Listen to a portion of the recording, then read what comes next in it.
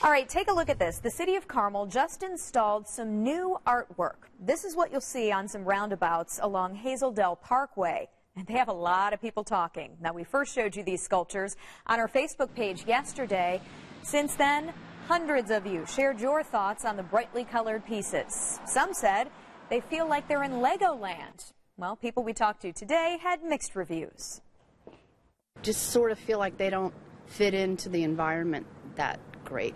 They're real modern looking and our neighborhood isn't quite as modern looking. I don't know how much they cost, but I wish that that money could have been put towards something else. Art is better than no art, so um, they are things that will grow on people. They do speak to the, the family and sport that that happens uh, happens to be a mark of this area. So um, I'm just I'm glad to be in a community that invests in art.